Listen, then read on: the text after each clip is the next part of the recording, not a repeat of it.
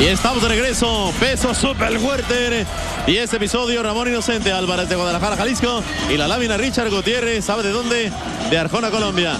Y allá viene caminando hacia el cuadrilátero este muchacho nacido hace 37 años en Arjona, Colombia. Hoy avecindado en Miami, Florida. Tiene 298 rounds, un 37% de knockout. ¿Y sabe qué? Dice que viene por todas las canicas. Él es ex campeón latino super welter del Consejo Mundial de Boxeo. Un hombre que si bien tiene muchas derrotas, también tiene punch, dinamita. Y mire usted, la belleza implícita, siempre lo decimos, por supuesto, en solo boxeo tecate. Ahí está don Eufrasio, el cubano, nuestro buen amigo. Él es quien lleva los destinos de este púgil. La verdad que tiene buenos peleadores don Eufrasio, el cubano, ¿eh? Sí, están muy bien preparados. Yo tuve la oportunidad también de subir con uno de sus peleadores que me dio un susto tremendo este muchacho y la, bueno, la verdad lo noqué nueve, pero eh, muy apretada la pelea. Sí, sí, sí, tiene su, su colmillo. Y la verdad que vamos a esperar un combate espectacular en el marco de las 154 libras, lo que se conoce como el Super Welter, donde ya fue campeón el Canelo. Sí. Y bueno, voz de la guitarra mía me parece, querido campeón. Si no me callas, canto. Esa música de fondo, una nota muy especial para todos los mexicanos y bueno, qué mejor que este representante Ahí Ramón vemos Álvarez. al campeón Super Welter de la Federación Internacional de Boxeo Norteamérica. México lindo y querido, caray, ni, como dice chiste, ni me recuerden que me regreso. Ahí viene caminando este muchacho de 28 años de edad de Guadalajara, clasificado mundial número 11 de la Organización Mundial de Boxeo y 14 por parte de la Federación Internacional de Boxeo. Ramón El Inocente Álvarez, 28 años le decía, del mero Guadalajara, Jalisco, la tierra de los lonches, del pozole, del mariachi y por supuesto de los equipales, campeón. Sí, la verdad es que viene de una familia de boxeadores. Hicimos este recuento de la vez pasada de seis que se presentaron en una misma noche, hicieron récord histórico. Bueno, fueron verdad, siete. bueno, siete, perdón. Siete en total, ¿eh? Siete. Sí, Estás como... la- no dejen al de atrás al final, que también entre. Sí, siete hermanos. Vamos a platicar ese dato que es importante. Rompieron récord Guinness, ¿no? rompieron récord Guinness en una, en una función hecha allá en Guadalajara, Jalisco, ¿verdad? Así es. Aquel 28 de junio del 2008. Aquí está el hermano del Canelo. Y mucho, mucho Canelo. Por supuesto, esperando el siguiente combate. Recordemos que tuvimos ya una pelea con él cuando derrota por decisión unánime a Omar, el businessman Chávez, el hijo de Julio César. Que por cierto peleó ayer con el Azabache Martínez. Sí, Desde el Centro de Usos Múltiples en la heroica Hermosillo, Sonora, México.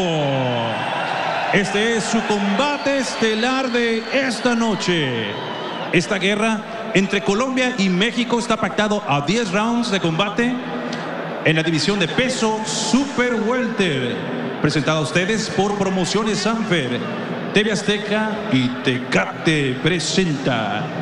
Sus tres jueces son Roberto Valencia, Miguel Velázquez y Antonio Aguilar. Y el tercero en la superficie, Octaviano López. Ahora bien, aficionados presentes aquí en Hermosillo, ajusten sus cinturones. Presentando a ustedes peleando de la esquina azul. Sube al ring vistiendo calzoncillo color azul con vivos en plata, con un peso de 70 kilogramos.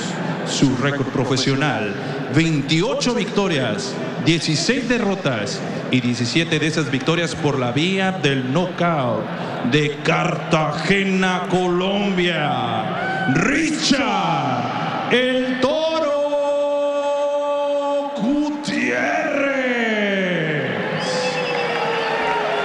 Su contrincante peleando de la esquina roja.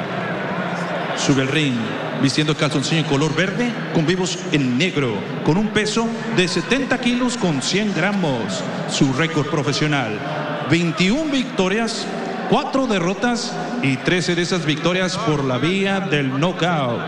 El campeón nabo de la OMB y la Federación Internacional de Boxeo.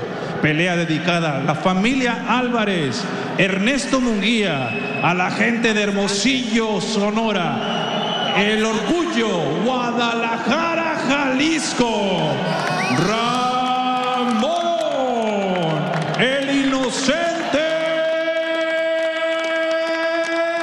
Álvarez. Y aquí está el tercero en la superficie, Octaviano López. Bueno, que es una pelea limpia, no mucho activado con las cabezas, golpes bajos y golpes en la nuca. Cuando entren en 15 a mi señal se separan sin tirar golpes. Si alguno está acá y el otro se va a la, la esquina a un más lejana. Suerte, señores, que gane mejor. Recuerden que el cara a cara está siendo presentado por Sopo, la película que se presenta en cines el próximo 24 de julio.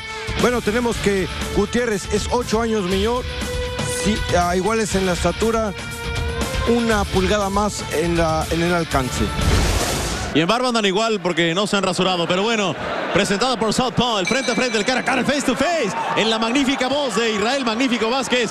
Una leyenda, una leyenda del boxeo mexicano. Y vámonos, short verde para el inocente que sale por todas las canicas. Mientras que el muchacho de Arjona, Colombia, hoy avecindado en Miami, short azul, vivos en plateado. Pelea pactada a 10 episodios, 10 kilos, 10 vueltas en el marco de los Super Welter. Como límite en la romana, en la báscula, 154 libras. ¿De dónde saldrán más cueritos, señores, señores? ¿De Guadalajara o de Arjona, Colombia? Vamos a revisar el promedio de asaltos peleados de estos dos muchachones. Mire usted, el inocente Álvarez, 27 peleas, 154 rounds, con un promedio de 100 5.7 de rounds por pelea. Mientras que la lámina Gutiérrez, 45 combates, 300 rounds, con un promedio de 6.6 de rounds por pelea. Ahí está, campeón, este dato no menor, ¿eh? Sí, la verdad que es algo importante hacerles saber. Y ahí vemos ahí a Ramón el Inocente Álvarez que está atacando muy bien al cuerpo, sabe de la peligrosidad de este lámina Gutiérrez que utiliza muy bien los brazos largos y de alguna manera va a tratar de mantenerlo a la distancia para poder hacer una gran pelea. Coincido contigo, mi querido Magnífico Vázquez. Debutó el 25 de enero del 2008. El inocente con derrota, por cierto, ante Agustín Márquez. Del otro lado, debutó el 15 de diciembre de 2001 con victoria ante Aurelio Julio. Vamos a, escuchar el magnífico análisis de Israel. Bueno, vemos que las fortalezas boxísticas de Ramón Álvarez este tiene una estatura promedio para esta división Super Welter. Tiene una buen alcance que sabe aprovechar muy bien con esa rapidez y potencia que mantiene en los golpes. Y bueno, vemos que también tiene una gran mandíbula, una gran resistencia que le va a ser bastante efectiva para enfrentar a este peleador colombiano. Ahí estaba hablando ya de el inocente Álvarez. Los dos en guardia diestra. Hablamos de Guadalajara. ¿Por qué no hablamos de Colombia? Bueno, vámonos con el colombiano Richard Gutiérrez, que de alguna manera tiene los brazos largos, los cuales va a saber aprovechar muy bien para esta pelea ante el Ramón el Inocente Álvarez. Golpea muy bien al cuerpo, sabe utilizar muy bien esos manos y la gran potencia que también tiene, aparte de una gran experiencia sabe que lleva muchos peleadores de gran nivel y bueno, eso lo va a saber aprovechar frente a esta pelea importante. Ahí nos quedan 23 segundos por delante en el primer capítulo, pelea pactada 10. Sabe que no hay tregua, no hay trinchera, no hay descanso, no hay paz en este cuadrilátero instalado en el centro de usos múltiples en Hermosillo, Sonora. Así es de que allá va el inocente, el silbato que anuncia que quedan 10 segundos agonizando, insisto, el primer capítulo. Quiere cerrar con todo el de Guadalajara para impresionar a los jueces. Regresamos. Próxima semana no se pierda solo boxeo Tecate. Tenemos una noche especial que incluye al exolímpico estadounidense José Carlos Ramírez, el orgullo de Avenal, California.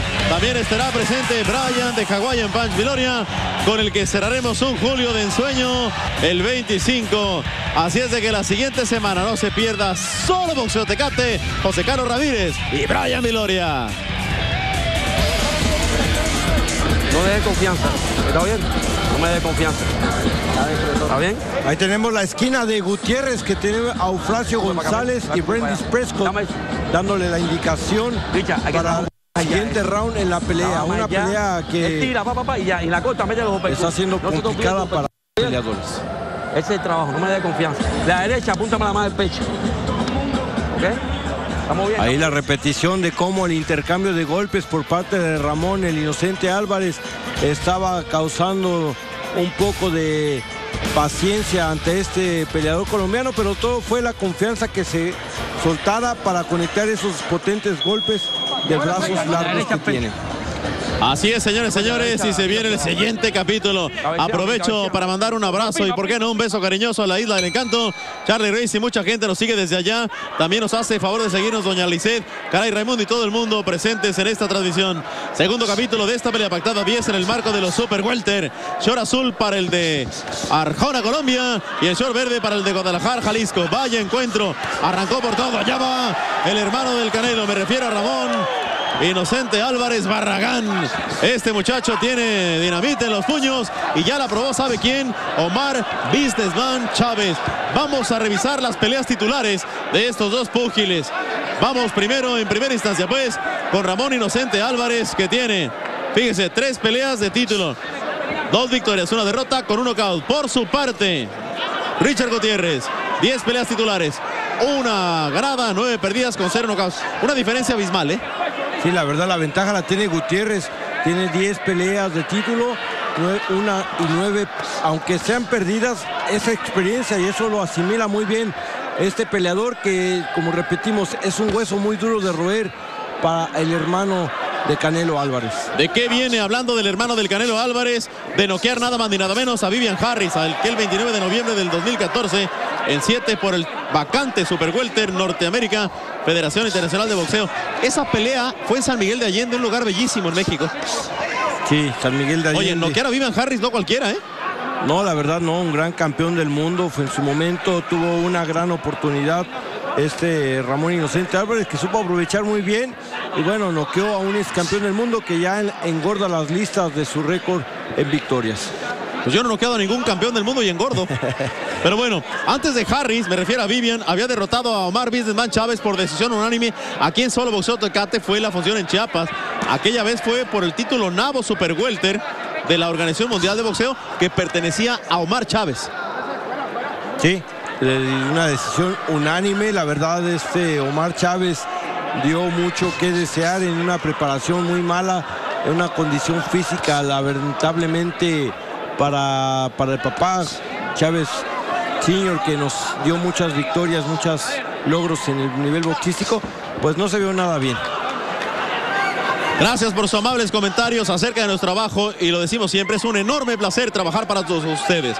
Vámonos que quedan 33 segundos, segundo capítulo de 10. La verdad que se nos va como agua entre las manos.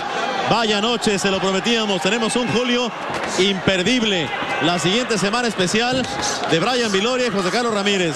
Después estaremos en Macao, China, con Nonito Doner y José Carlos Ramírez nuevamente. Y cerramos con Brian Viloria desde Los Ángeles, California. ¡Qué bárbaro! por si se le hacía poquito. Vaya derechazo buscando la lámina Gutiérrez. Escuchamos el anuncio que quedan 10 segundos por delante y allá va el zurrazo del de Guadalajara, Jalisco. Se amarran en un combate de antología. Nosotros regresamos con más. Bien, Ramón. No quiero que caigas en su juego, güey. Ya se está empezando a burlar. Administra tu condición física. Él va a querer apretar del sexto round en adelante. Úselo. Pero no me descuide la guardia cuando, cuando tiras tus golpes, güey. No me las bajes. Porque él está esperando eso. Y como no lo ve, como no lo ve, no lo hace. No te puede, contragolpear, no te, no te puede contragolpear, güey. Por ahí tenemos la repetición de este inocente Álvarez que tuvo contra las cuerdas en un momento en la pelea a este Richard Gutiérrez que trataba de contragolpear, pero la velocidad y buenas combinaciones de Álvarez lo hacían mantenerse más defendiendo que atacando. No te descuides, Rey. Ten... ¿Cómo lo quiere? Le dijo en tres o cuatro ocasiones, ten cuidado, Rey. Yo escuché otra cosa. Ah, perdón. Pero bueno, ahí veíamos uno de los hermanos del Canelo y lo repaso rápidamente como dato cultural.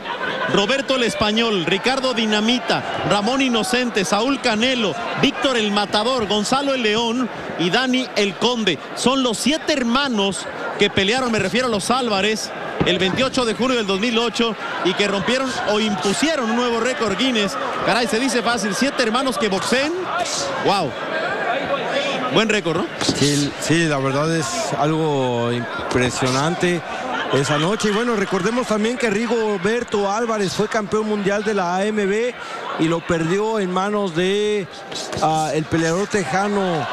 eh, y ahí vemos acciones de la pelea también, ahí conectando muy buenos golpes por parte de Ramón Inocente Álvarez, de Richard Harris, que bien le decía Rigoberto, no entres en su juego, se está empezando a burlar, tú te estás empezando a desesperar y de alguna manera esos golpes que tiras de más te restan condición. O a lo mejor no le decía Rey, solamente le decía que esperara. Wait, wait, espera. 1.49 por delante, señoras y señores. Aprovechamos para revisar el porcentaje de knockouts. ¿Cómo andan en el departamento del cloroformo? El inocente, 13 knockouts en 21 victorias, que nos arroja un porcentaje de 48% de knockout. Mientras que la lámina, 17 knockouts en 28 victorias, que nos da un 37% de knockout. Sin duda, eh, comió más yunque y más fierro y más tornillos el de Guadalajara, ¿no? Sí, por lo pronto también está este. Está teniendo su primer pelea del año. Eh, esto quiere decir que está un poco inactivo después de ganarle a Vivian Harris. Pues bueno, después de, de muchos años. Y vemos ahí Vamos el promedio de rounds. A ver, platícame. Mira, Álvarez, 8 knockouts, Gutiérrez, 11. Esto es el récord de knockouts en los tres primeros asaltos. La verdad que es interesante. Álvarez, 8 knockouts y Gutiérrez, 11, querido campeón, en los primeros tres episodios. Sí, se ve que tienen poder, empiezan muy fuerte en la pelea. Lógicamente la ventaja la tiene Gutiérrez porque ha enfrentado a grandes rivales, ha tenido más peleas de gran calidad y la verdad es una prueba bastante difícil para este Ramón Álvarez, pero está sabiendo asimilarla muy bien, está golpeando al cuerpo como en este momento, atacando muy bien la zona del estómago, conectando muy bien a mano derecha por encima del hombro de este Richard Gutiérrez, teniendo la, la ligera ventaja en cuanto a golpeo, en cuanto a golpeo se refiere. Un saludo al tomate Aníbal Marrero allá en Puerto Rico. Nos sigue, no se pierde solo vosotros, Tecate. Habíamos hablado ya de este que es Inocente Álvarez. Le platico algo. El colombiano debuta con victoria en 2001. Después tiene 21 victorias al hilo. La verdad que una pelea muy cerrada hasta el momento de dos púgiles que se han entregado con todo. Vamos a una pausa y regresamos con más.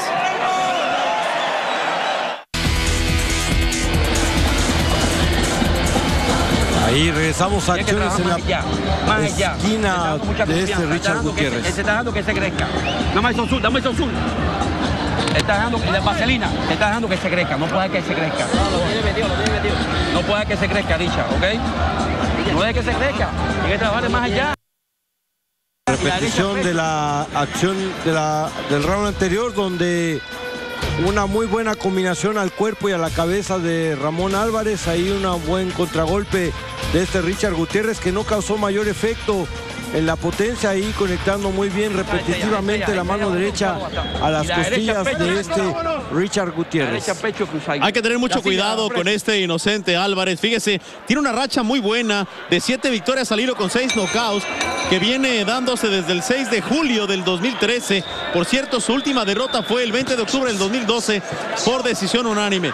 Cuidado porque él dice que en un año estaría pidiendo ya la oportunidad titular. Ahí conecta un golpe limpio, Volker Inmaculado, buscando la zona blanda. ¿Y sabe qué? Le pido no pierda de vista, por favor, la mano izquierda en forma de gancho de este que es Ramón Inocente Álvarez. Lo decía Eufrasio, no lo dejes que crezca, no lo dejes que se confíe. Y es que si se confía el Inocente, saque el punch de los Álvarez y puede llegar el knockout, querido campeón.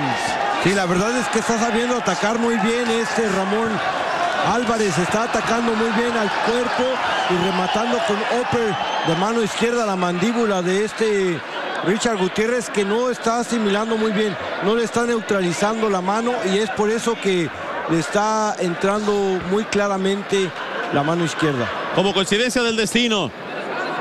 Álvarez ya le ganó a Omar Businessman Chávez. Y por cierto, el colombiano viene de perder con Omar el Businessman Chávez, rival en común. El único knockout que ha recibido en su carrera. El inocente Álvarez ha sido aquel que le propinó Daniel el Ganero Sandoval el 10 de julio. Y allá va el peleador de Guadalajara, Jalisco, tratando de finiquitar la obra de arte. Me parece que las tarjetas va ganando. Y mire usted, el colombiano mandaba una ráfaga enorme, cafetera, ritmo de vallenato enorme. Sin embargo, el de Guadalajara, Jalisco, le impone el ritmo del mariachi. Se va pegadito a las cuerdas el peleador colombiano, conocedor del punch, de la dinamita del de Guadalajara, Jalisco. Allá va el hermano del Canelo, buscando el derechazo volado. Sin embargo, le digo, no pierda de vista la mano izquierda, que es sumamente peligrosa. Ya vea, conecta de derecha. Se ve preocupado el colombiano y sabes que se está comiendo muchos, muchos golpes el peleador colombiano. Sí, la verdad está cada vez más eh, a- haciendo la confianza a este Ramón Álvarez. Ahí vemos a ver de qué se queja este Richard. Algo con un golpe en la sien extraño. Yo no sé si va a poder continuar, pero hay algo muy raro. De esos golpes de efecto retardado que qué mejor que tú lo platiques, ¿eh? Sí, la verdad Es el ojo sí. y hay una cortada en la boca, ¿eh? Se me hace que le picó el ojo, se siente un poco, eh, a lo mejor posiblemente no está mirando al oponente ahí la quijada. Cabezazo. Oh, Un vez- cabezazo accidental, fíjate. sí, tal vez fue que le reventó el labio, un diente. Bueno, ahí lo fue revisando. Hay que tener mucho cuidado. Yo no sé si, si permita el doctor que continúe la pelea. Pero sí el cabezazo es clarísimo ahí. Insisto, accidental, ¿eh? Sí, fue circunstancia de la pelea, la combinación que ambos peleadores tenían, pero la desventaja la tuvo este Richard Gutiérrez, que aquí vemos con atención médica y vamos a ver qué determina el, pele- el referee. Creo que le reventó, le cortó, le, le tumbó Al menos la mucosa de la parte baja de la boca sí está muy lastimado. Ahí está el médico ya atendiendo, Eufrasio preocupado. Daba indicaciones como de que ya no quiere continuar, al menos Eufrasio.